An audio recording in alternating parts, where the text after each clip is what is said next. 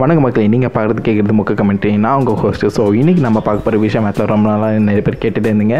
முக்கியமாக dead two two பார்த்தவங்க அதாவது நம்ம ஜகர் நாட்டோட ஆரிஜின் ஸோ இன்றைக்கி நம்ம அதை பற்றி தான் பார்க்க போகிறோம் ப்ளஸ் அவரோட எபிலிட்டிஸ் பவர்ஸை பற்றியும் பார்த்துருவோம். வாங்க கைஸ் வீடியோவில் போயிடலாம். ஜகநாட் ஏன் கொஞ்சம் ஸ்பெஷலான சூப்பர் வில்லன் பார்த்தீங்கன்னா அவர் ஆக்சுவலாக ஒரு மியூட்டன்ட்டே கிடையாது. ஸோ மூவியில் நிறைய பேர் பார்த்துருப்பீங்க அவர் மியூட்டன் நினச்சிருப்பீங்க. பட் அவர் ஆக்சுவலாக மியூட்டன் கிடையாது. ஓகே இந்த பவர்லாம் கொடுக்கப்பட்டது. அதை நம்ம எப்படின்னு பார்த்துருவோம். ஸோ ஃபஸ்ட்டு ஜெகநாட் ஒரிஜினல் பேர் என்னென்னு பார்த்தீங்கன்னா கெயின் மார்க்கோம் ஸோ அவங்க வந்துட்டு பிறந்து மூணு வயசுலேயே அவங்க அம்மா தவறிட்டாங்க. அவரோட அப்பா வந்துட்டு பார்த்தீங்கன்னா ஒரு மிகப்பெரிய அட்டாமிக் ரிசர்ச் சயின்டிஸ்ட் ஸோ அவங்க அம்மா தவறிட்ட அப்புறம் அவங்க அப்பா இந்த பையனை பட்டு ரொம்பவே டார்ச்சர் பண்ணியிருக்காரு. ஏன்னா இவருக்கு வந்துட்டு அவரை பிடிக்கவே பிடிக்காது அது மட்டும் இல்லாமல் ஸோ இந்த ஜெகநாட்டோட அப்பாவும் நம்ம சார்ல்ஸ் ஜேவரோட அப்பாவும் ஆக்சுவலாக கொலீக்ஸன் ஸோ இவர் வந்துட்டு அந்த கெயினை டா டார்ச்சர் பண்ணுறதுனால இவருக்கு வந்துட்டு எப்போதுமே அந்த மாதிரி ஒரு புள்ளி நம்ம அப்பா நம்ம டார்ச்சர் பண்ணுறது நம்மளும் அப்படி தான் இருக்கும் சொல்லி அந்த ஒரு கெத்திலே இருப்பார். அதனால் நிறைய ட்ரான்ஸ்ஃபரும் கிடைக்குது. ஸோ ஒரு கட்டத்தில் நம்ம சார்ல்ஸ் ஜேவரோட அப்பா வந்து இறந்து போயிடுறாரு. ஸோ நம்ம இந்த அட்டாமிக் ரிசர்ச் சயின்டிஸ்ட் அதான் நம்ம கேனோட அப்பா வந்து என்ன நினைக்கிறாருன்னா இந்த மாதிரி சார்ல்ஸ் ஜேவரோட அம்மா வந்துட்டு நம்ம லைக் கல்யாணம் பண்ணிக்கிட்டோன்னா அவங்களோட சொத்துலாம் நம்மளுக்கு கிடைக்கும் சொல்லி எப்படியோ உஷார் பண்ணி கல்யாணம் பண்ணிட்டாங்க. அதனால் வந்துட்டு இப்போ நம்ம ஜகர் நாட்டும் சார்ல்ஸ் எவேரும் ஸ்டெப் பிரதர்ஸ் அதாவது அண்ணன் தம்பிங்க. பட் நம்ம கெயினுக்கு வந்து தான் யாருமே பார்த்தாலே பிடிக்காதுன்னு சொல்லி ஃபஸ்ட்டு மீட்டிங்கில் வந்து நம்ம சார்ஜ் கூட வந்து சண்டை போட்டுறாரு. ஸோ இது வந்துட்டு இப்போ மட்டும் இல்லாமல் இப்படி தொடர்ந்து நடந்துகிட்டே இருக்குது ஸோ நம்ம இந்த அவர் ப்ரொஃபஸர் இருக்க பார்த்திங்களா நம்ம கெயினோட அப்பா. அவருக்கு வந்துட்டு நம்ம அந்த ஜெகனோட பிடிக்கிறத விட ப்ரொஃபஸர் எக்ஸ் அதோ நம்ம சார்ஜ் தான் ரொம்பவே பிடிக்குமா இது வந்து இன்னும் கோவத்தை அவனுக்கு ரொம்பவே தூண்டியது. ஏன் அப்பா எப்போ எதுக்குற உன்னை வந்துட்டு லைக் ரொம்ப நேசிக்கிறாரு அப்படின்னு சொல்லி. அது மட்டும் இல்லாமல் ஒரு கட்டத்தில் என்ன நடக்குதுன்னு பார்த்தீங்கன்னா நான் படிக்கிற ஸ்கூலில் வந்து ஒரு ஸ்போர்ட்ஸ் டே மாதிரி நடக்குது.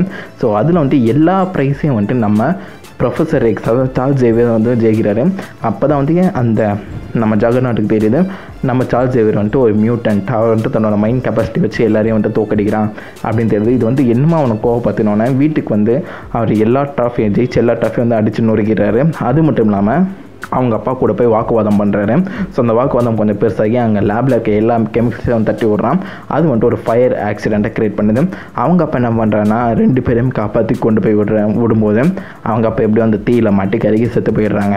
ஸோ இது வந்துட்டு ஆக்சுவலாக ரொம்பவே காண்டியத்தை விட்டுது. நம்ம ஜெகநாட்டுக்கும் சார்ஜ் தேவரகம் ஸோ ரெண்டு பேரும் லைக் இந்த மாதிரி சண்டை போட்டுக்கிட்டே வளர்கிறாங்க வளர்ந்துட்டு அப்புறம் ரெண்டு பேருமே ஒரு ஆர்மியில் சேர்றாங்க.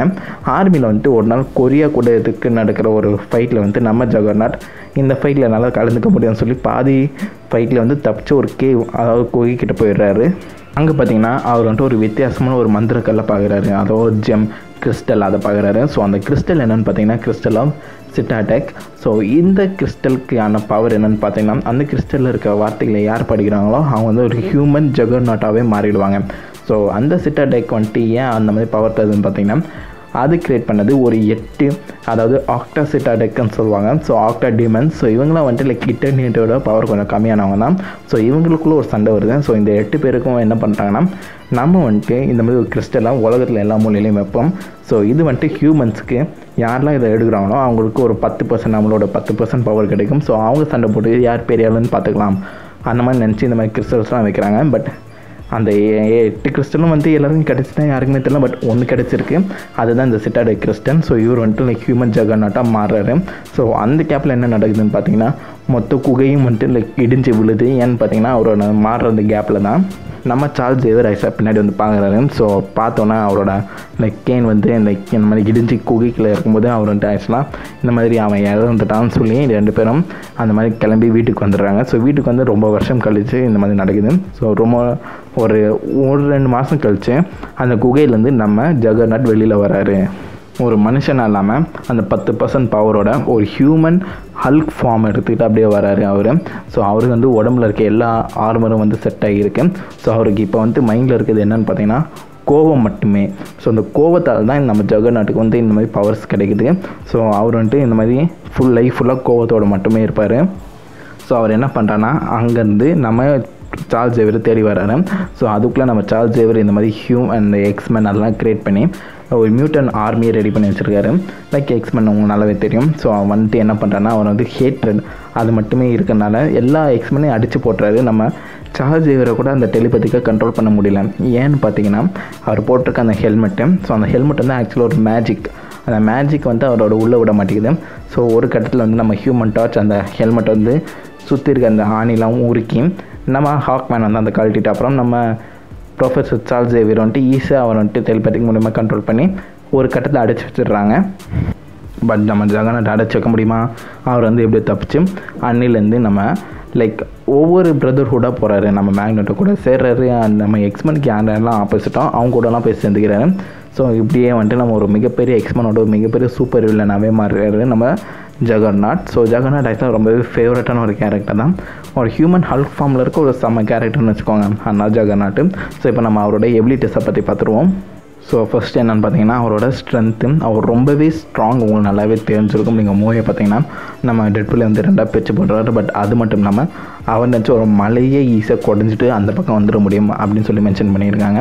ஸோ அடுத்து என்னென்னு பார்த்தீங்கன்னா அவரோட அந்த ஒரு ஸ்டாமினா தான் அவருக்கு வந்து அந்த சோர்வே கிடையாது. அவருக்கு தண்ணி சாப்பாடு எதுவுமே தேவையில்லை. எதுவுமே இல்லாமல் வந்து ரொம்பவே ஸ்ட்ராங்கான ஒரு ஆள். ஸோ இது வந்துட்டு ஆக்சுவலாக என்ன ஒரு இதோட மிக்ஸ் ஆகுது என்னென்னு பார்த்தீங்கன்னா அவரோட மொமெண்டம் ஸோ இவர் வந்துட்டு ஒரு மொமெண்டம் எடுத்து அதாவது ஓட ஆரம்பித்தாருன்னா நடுவில் எது இருந்தாலும் பார்க்க மாட்டாரு எல்லாத்தையும் அடித்து நொறுக்கிட்டு ஓடுவாராம். ஸோ எந்த அளவுக்கு அவர் வந்து வேகமாக மொமெண்டம் கிரியேட் பண்ணாரோ அந்த அளவுக்கு அவரோட டேமேஜ் அதிகமாக பண்ணுவாருன்னு சொல்லி காமிக்கில் சொல்லியிருக்காங்க. இதுக்கு எல்லாத்துக்கும் மேலே ஒரு சம பவர் என்னென்னு பார்த்தீங்கன்னா அவரோட அந்த ஹீலிங் கெப்பாசிட்டி ஸோ இவருக்கு ஆப்வியஸாக ஹீலிங் இருக்குது ஸோ இவர் ஒன் டேக்ஸில் ஒரு கட்டத்தில் லைக் எலும்பு மட்டும்தான் இருக்கும். அந்த மாதிரி ஒரு உருக்கிடுவாங்க. பட் இருந்தாலும் அதுலேருந்து நம்ம ஈஸியாக அவர் வந்துட்டு திருப்பி உடம்பு க்ரியேட் பண்ணி வந்துடுவார் ஸோ இது எல்லாமே வந்து பார்த்திங்கன்னா மேஜிக் தான். இவர் ஒரு மியூட்டண்ட்டே கிடையாது. ஸோ இப்போ உங்களுக்கு எல்லாமே ஜெகநாட்டை பற்றி தெரிஞ்சிருக்கும்னு நினைக்கிறேன். நான் ஜெகநாட்டை பற்றி ஏதாவது விஷயங்கள் மிஸ் பண்ணிட்டேன் நான் மறக்காம கீழே கமெண்ட் பண்ணுங்க நான் உங்களை ராத்த நல்ல வீடியோவில் மீட் பண்ணுறேனே அது வரைக்கும் ஹேவ் ஃபன் வரட்டா.